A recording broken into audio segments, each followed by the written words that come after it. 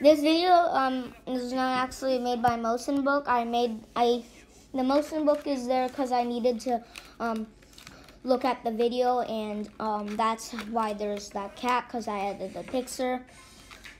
So that's the only reason I the Motion Book is there. Okay, so we can keep watching. Bye.